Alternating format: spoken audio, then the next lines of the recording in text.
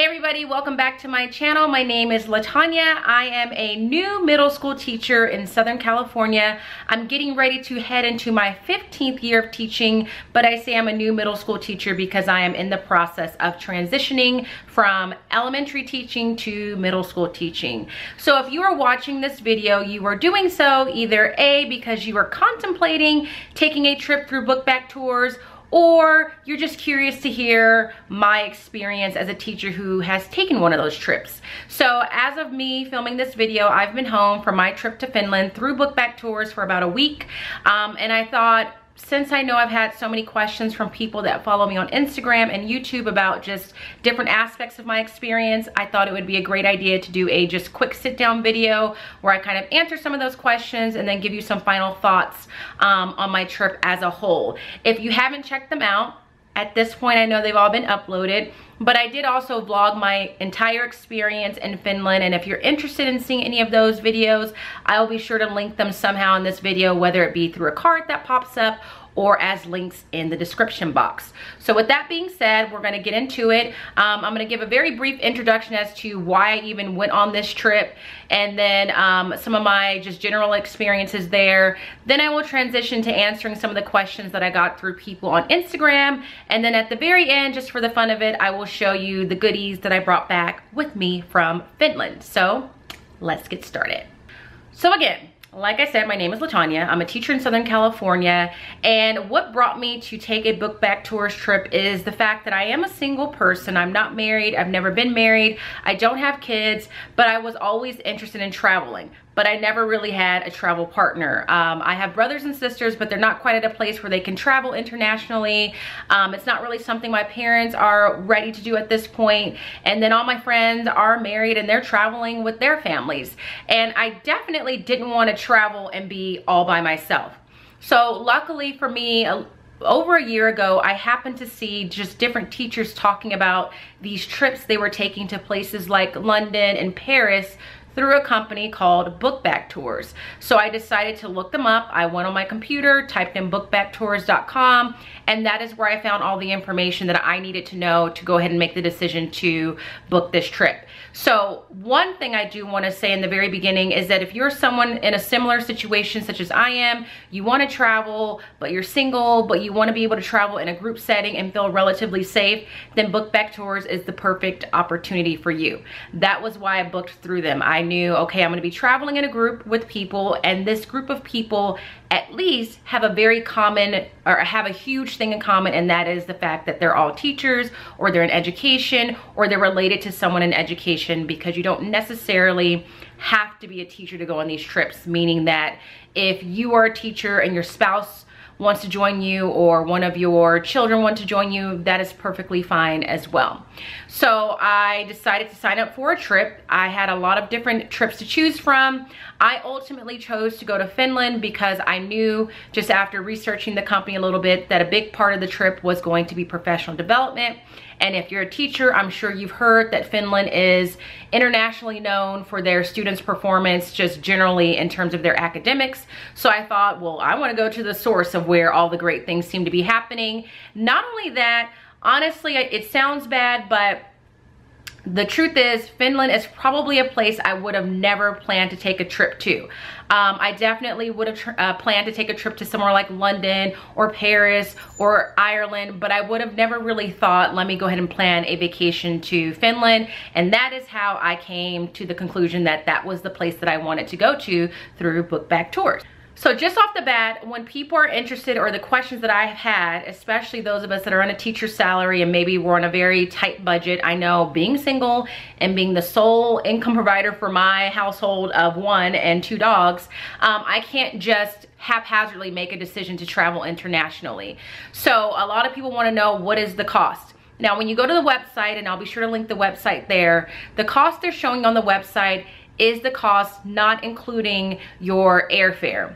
So for me, the total cost, including just booking through Bookbag Tours in terms of my hotel, um, the activities they have planned and all of that, plus my airline ticket cost was a total of $3,092. So it is pricey and it's definitely something that you're gonna wanna plan for. With that being said, the nice thing about Bookbag Tours and what really helped me is that you were able to pay as you see fit. In other words, if you are in a position to book a trip and then pay all at once, you can do that. If you're in a position where maybe you wanna pay 50% now and then 50% later or 20, 25% now and then pay in 25% increments, you are more than welcome to do that as well. If you wanna wait all the way until the very last minute because there's a deadline date where you have to have everything paid in full, you can do that also. I was in none of those positions. I knew that once I booked this trip, I was going to have to make very small payments throughout the course of the year. So I booked this trip last summer and had about a year to pay for it in full. And so what I did is I paid about a $100 a week. Um, I do make YouTube videos and I do generate a little bit of income from that. So any of the income that I got from YouTube a lot of times was just allotted to my trip if I picked up an extra um, check at work because I volunteered, or not volunteered, because I signed up to do something that was compensated, any extra money like that, I knew I was doing it for the purpose of paying on my trip. So I literally paid on average about a $100 a week.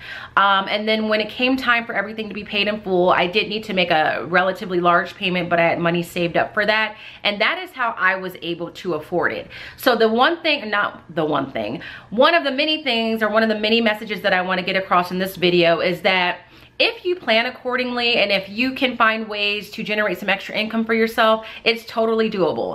Um, I, by no stretch of the imagination, am rich. I have bills just like everybody else. I have a mortgage, I have student loan payments, I have a car payment, car insurance, utilities, all of that but this was something that I knew I really wanted to do. So I had to really be focused and disciplined about how I was allotting some of the money that I may have done things like go to Starbucks with or buy clothes with and just tell myself I need to make sure I'm using that money so that my trip is paid for. And so that's what I was able to do.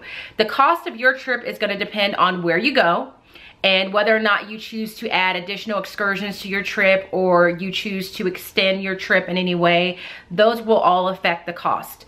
Um, the other great thing about it is that once I booked it, I left all the responsibility of booking everything else in the hands of the people at Bookbag Tours. So I didn't want to deal with booking the flight because I knew I wouldn't have time to really sit down and adequately research it. So they handled all of that for me and just told me, here's the flight information, here's the cost, and added that cost into my um, account and I knew I had to pay for that. If you wanna book your own flight, if you have miles and you have all these other options and you have the time to do that, you can do that as well. So it is very flexible. They're really good about communicating um, to you about things that you wanna keep in mind, deadlines that you need to be aware of, getting your passport together, um, giving you receipts every time you pay, giving you reminders as to when final payments are due. So I had a very smooth experience in terms of making sure I handled everything I needed to do logistically as well as financially. Now, if you have other questions that are um, in relationship to booking a trip, deciding where to go, please make sure that you click on the link for Bookbag Tours that I have linked in the description box because there's a ton of information there. All the most frequently asked questions are listed with a very clear answer. Um, that's what I did to help me kind of figure out what I was going to do, so please make sure you check that out. Now that we've talked about just kind of the logistics of that, Generally speaking, my experience going to Finland was absolutely, positively amazing, life-changing, fulfilling, um, inspiring, like every positive adjective I can think to say is what I would use. Um, on a personal note, it was just fulfilling because this was my first big international trip. I've been to Canada, I've been to Mexico, um, but those are relatively close to where I'm at. It's not very hard to get to those locations. But for this one, I this was a big one for me. I flew from Los Angeles, California, all the way to Finland on the other side of the world and that was huge for me. I you know and so on that level that was just fulfilling to just be able to go to a place see another part of the world experience another culture. Um, so I would not change that for the world. And I think just traveling and seeing as many places as you can, it's only going to enrich you as a person, make you into a better person, make you appreciate the world that you, you live in, in terms of like where you come from, and then it, appreciate the world that someone else is living in, whether it's like yours or not. So that part, amazing. The professional development was also amazing. The person that hosted us and led these sessions for us, his name is Petri, and um, he's an educator in Finland and is very focused on pedagogy and just really putting forth your best foot with working with students and making sure you have a student-led classroom and really just being the best that you can be in the classroom. He was just great. He was great in terms of the, per, the information he was providing, his method of delivery. Um, he had a great sense of humor. He was very personable. Um, we had three days of PD and we got to do a lot of different things in those short three days. We got to talk to Finnish teachers, Finnish students. We visited a preschool. We picked up some tips and strategies that we can take back into our classroom. So each day I left that professional development, I left with something concrete that I could take back to help me um, improve my skill set as a teacher. Um, a friend of mine, Liza, if you've been watching my YouTube videos, you know who she is. She was um, saying to me the other day that she wondered how fun was the trip or was it just like going to work to a professional development? And i was telling her it didn't feel like work at all because we were all so interested in what information he had to share. Um, you're surrounded by teachers that are all like-minded. You, you all came there for a reason. Everyone's motivated. So i really didn't mind it. And after the first day of pd a lot of us were sad that it ended because we were just so into it. And we weren't there all day. These sessions were a few hours at a time. Um, so the professional development aspect of it amazing. Um, then you also have a lot of free time while you're in these locations to kind of break off into small groups. Um, you'll find that as soon as you get there you make friends really easily. So we did shopping we did a lot of sightseeing we went out to dinner i went to karaoke for the first time. Um, so I have no regrets and I am so happy that I decided to do this, that I'm a huge advocate of anyone who's thinking about doing it. Um, I, don't, I don't think you'll have any regrets. I think you'll just come out of it feeling enriched as a person as well as a teacher. So now that I've done that, now I'm gonna go over the questions that I've gotten from you guys through Instagram. And so these are on my phone. So I am going to be looking down for them. Um, most of you were asking the same type of question. So if you don't hear me mention your name or your question um, specifically, it's because it was very similar to someone else's or just in the interest of time, I couldn't answer all of them. So the first one says, would you recommend this for pre-service teachers or college students studying education? And I would say yes. Um, it would be amazing to be able to go to another country and see their system and hear their point of view on education and intermingle with other educators from different parts of the country um, before you've even taught your first day. That's only going to give you a stronger foundation, a broader sense of what education is. So if you can afford it, I definitely would suggest it, suggest it to you, even if you are a pre-service teacher. That question was from, I think it's Jayla underscore 1008. The next question is from Jay's mom T's wife 22. How long is the actual trip? So I was in Finland from June 22nd until July 3rd. I actually ended up going there a little bit early um, just because it worked out with my flight, but the rest of the group arrived June 24th and was there until July 3rd. There were little pockets of people that were extending their stay in Europe, um, but that was the official time frame of the trip, June 24th through um, July 3rd. Next question is from K.Y.A. I'm not sure.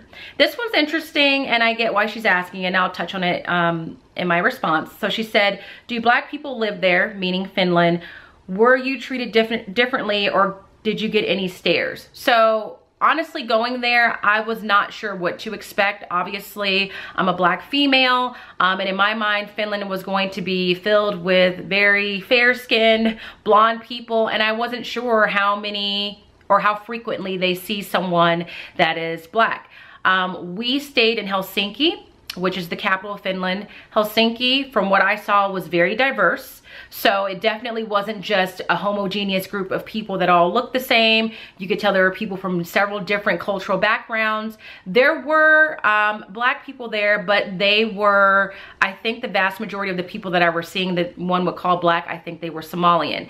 Um, there were not a lot of black people there that looked like me, if that makes sense. I think I still stood out because I think when you look at me and the other black people that were in the country, it's clear that I'm Americanized or that I'm not Somalian. Um, so, and, and we talked to some high school students and I did ask her that very specific question because I was very curious myself um, because she was, I believe she was Somalian. And so I asked her if she felt that she was accepted at her school and if she felt like she was discriminated against. And she said that she had lived her all her, all her life and she never felt um, that she was treated any differently.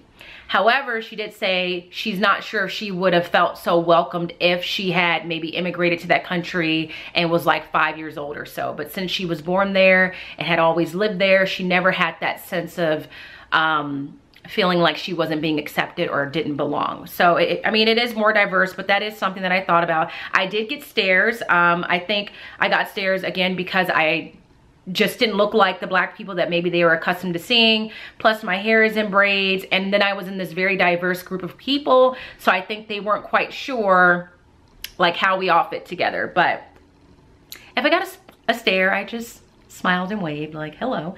Um, so yeah, Next is from Jean Marie underscore Simpson. Can high school teachers go? Yes, absolutely. Um, and it would be great if you did come because I think most of us were elementary teachers.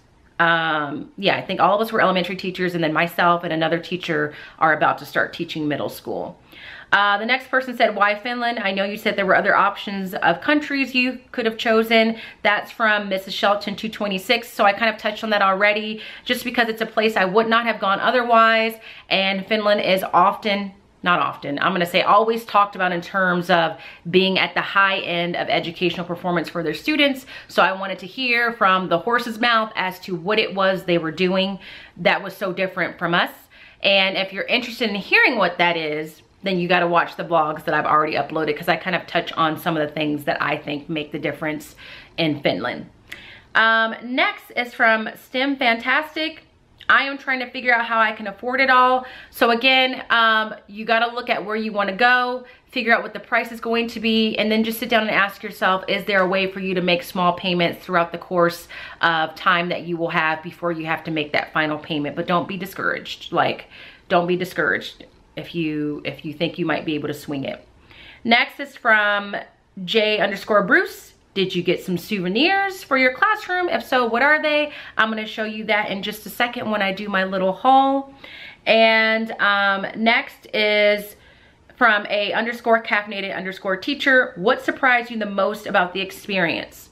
Um, that's a good question. I think just what surprised me the most about the experience is just a when we as a group of teachers all came together it was like we knew each other. We instantaneously like bonded got along. There was never that moment of like awkwardness that i don't know anybody. Um a lot of people have asked me do people go not knowing anyone? And most of us went and didn't know anyone really.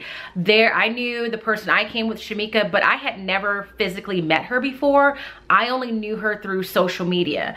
Um if you follow me on Instagram, you know I spent a lot of time with Jill. I had never met Jill before, but by the end of that trip, we were like besties. Everybody in the group was just thrown into the situation where you either know no one or you really only know one person. And a lot of the people that came knowing someone, it was only because they knew that person because they met them on a Bookbag Tours trip that they had taken the year prior. So if you're apprehension is to say, I don't want to go because I don't know anybody, I, I would just beg you to let go of that um, anxiety because you're going to go there with a group of people that have teaching as a common thread. And if you put teachers in a room, you will find a way to get along because you guys all have this thing in common. Um, so by the time you leave, like me, I left there with 25 new friends that I feel like I know them well. We had great laughs. We took trips together, had meals together. Um, so do it. Sometimes we got to jump out of our comfort zone to grow in life. Next question is, um, this is from my cousin, Mrs. Uh, Miss Six Foot Two because she's six foot two. This is from my cousin Crystal. Um, how are the accommodations? Now, I will say when I opened the hotel room door, I was like, oh my God. And then I had to calm down because It was not, it wasn't like the Ritz-Carlton, Carlton, excuse me, wasn't even the Embassy Suites. It was a very basic, small hotel room. It had everything I needed in it, beds, bathrooms, sinks, things like that. It just wasn't like luxurious. It was small. Um, but you gotta remember, you're not going to this country to spend all your time in that room. So as soon as I had a moment of clarity and said, Latanya, this room is strictly meant for you to come in here, sleep, shower, wash your face, brush your teeth, and leave, then I got over it. It was clean, everything else was fine. It just, it just wasn't like I mean, not like the Embassy Suites is super fancy, but that's like the like basic level hotel stays that I'm looking for when I go anywhere. So um, that was my experience with the hotel. The staff was super friendly. Breakfast was provided. There are some trips where you go and they do set you up with the host family. Jill went with the host family in her first Bookbag Tours trip and she loved it. Um, I've heard other people that have stayed with host families and they, they loved it. That just wasn't an option for us on this particular trip. Um, so the accommodations were fine. And some people call me high maintenance and I feel like if I was able to handle it and I was okay with it, then anybody really would be. And again, if you wanna see what my hotel room looked like, um, you can kind of see some of that on the vlogs. So those were all the questions. The next thing I'm gonna do is just do a little Finland haul to show you what I got and then we'll wrap up this video. All right, now to the fun stuff. So these are the things that I bought. I've been storing it in here for you guys in my cute little bag that they gave us from Book Bag Tours. So I'm just gonna pull things out of the bag and I'll show it to you as I go. Um, I'm gonna start with the smaller things. Well, we'll see. I'll try and do the smaller things first. So while I was there, um, that's just gonna be too hard. So I'm just gonna take the things out as they come and I'll tell you what it is. So this first item is a brand that I found out about while I was in Finland. It is a Finnish brand called Marimekko.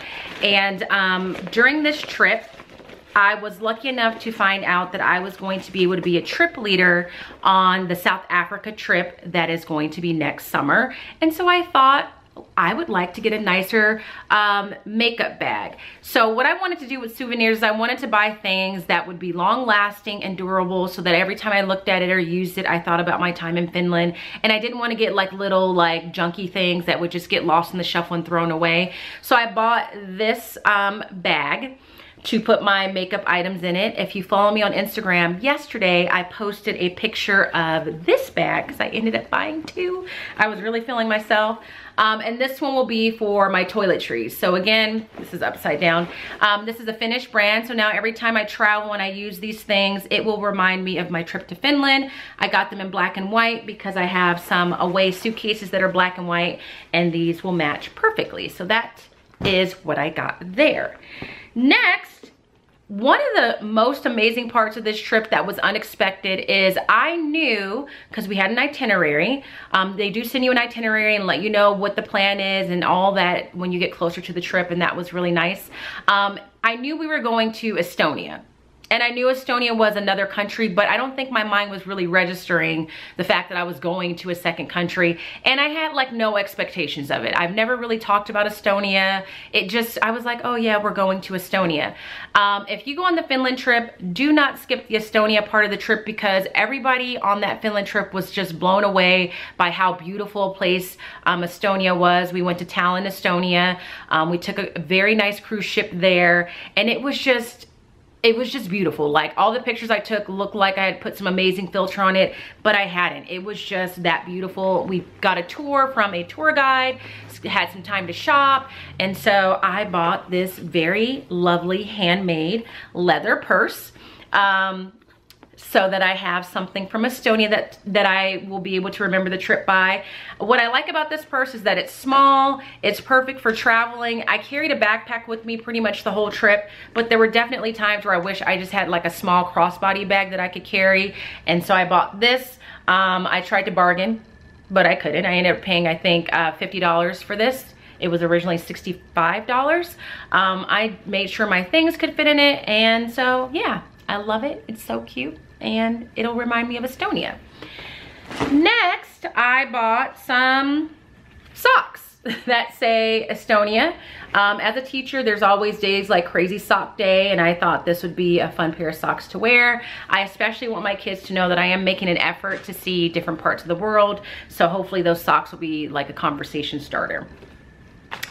Um, one of the things I learned in Finland is that there's a very popular cartoon character that we, or I have never heard of, and his name is Moomin. So this is specifically one of the things that I bought for my classroom. So I wanna get magnets from every place that I go and have them on display in my classroom. So I bought this one because it says Finland on it, and then it also has a very popular cartoon character on it, which I thought would be great for the classroom. So I bought that. I also bought um, a magnet from Estonia. So this will go on my classroom board as well. Just a little Estonian girl. Next, I bought, um, one of the people on this trip had a great idea and anytime she travels, um, she buys an ornament from that place so that she has it her travels displayed on her Christmas tree and I love that idea. So I stole it. So I bought a hand painted ornament that says Finland on it. I don't know if you can see it. Maybe I'll take it out of the bag. There it is. So it says Finland right there. And then I also bought one from Estonia. So this says Tallinn. Can you guys see that?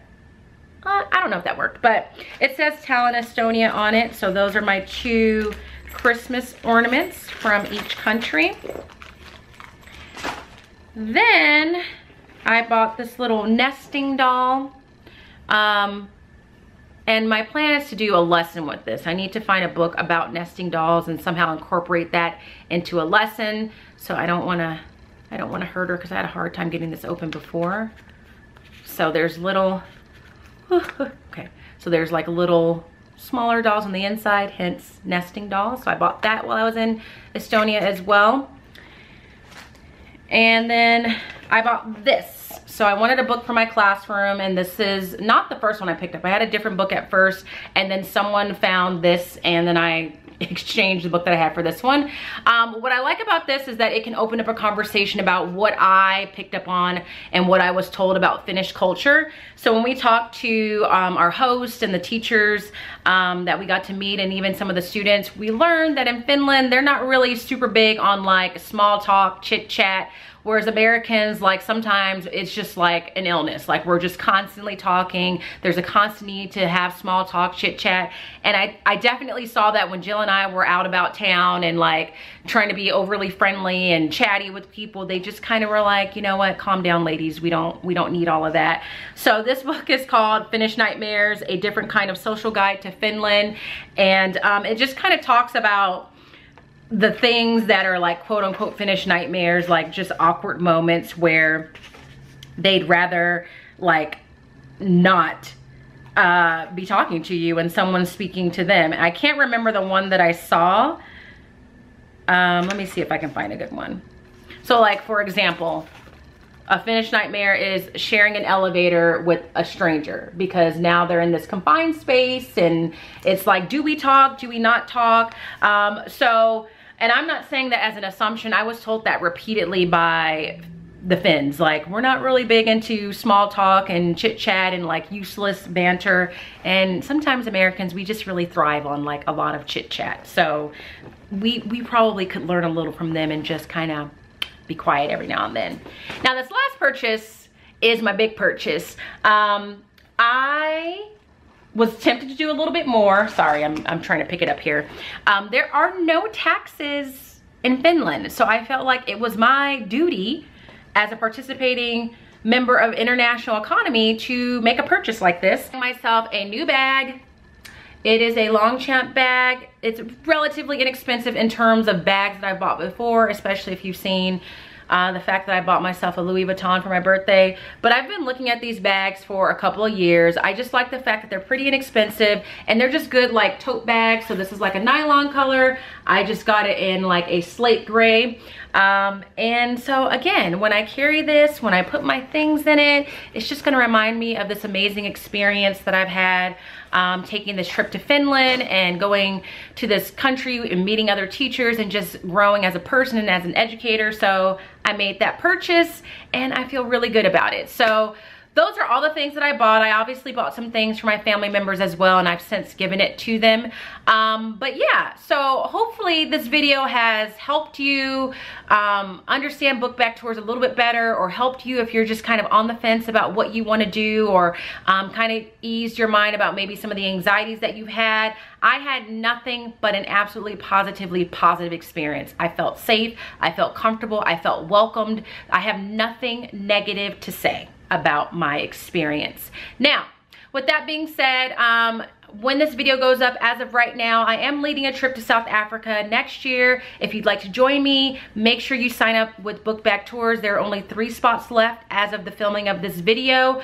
Um, if you don't want to go to south africa but you want to go somewhere else make sure you check out their website. Um, i did get a message from one of the leaders of the company telling me um, the stats on some of these trips so i will share that with you right now. So there are seven spots open for france there are 10 spots open for Finland. You know I highly recommend that one. Three spots left for South Africa, 15 spots left for Kenya, 14 spots left for New Zealand, and they just opened a spot for alumni to Jamaica, meaning that you've already been on a trip before, and there's 20 spots left for that because that one just opened up. So if you're interested in any of those trips, click on the link that I will put in the description box on for Bookbag Tours, sign up and please do make sure you let them know that you are signing up because I sent you over there. Um, that would really help me out so they can see that I'm really working hard to make sure more teachers find out about this amazing opportunity. I totally believe in what they're doing. I think it's a great opportunity. Sign up for wherever it is you want to go. I know that you'll have a positive experience no matter where you go, but it would help me out a great deal if you let them know that I'm the one that sent you their way. So if you have any additional questions that I didn't answer or you need some clarification, make sure to leave that in the comment section and I will answer those questions to the best of my ability. If you're interested in seeing how I spent my time in Finland, once again, all those vlogs are up and live as we speak. Um, if you haven't subscribed to my channel, please make sure you do so. And if you don't follow me on Instagram, please follow me there as well because I do share some information there as well. And I do have some highlights from my Finland trip. Aside from that, I hope you guys are having an amazing day. I hope to see some of you in South Africa or I hope to hear that some of you have booked a trip to somewhere in the world. I hope you guys have a great day and I will talk to you in the next video. Thanks for watching. See you soon.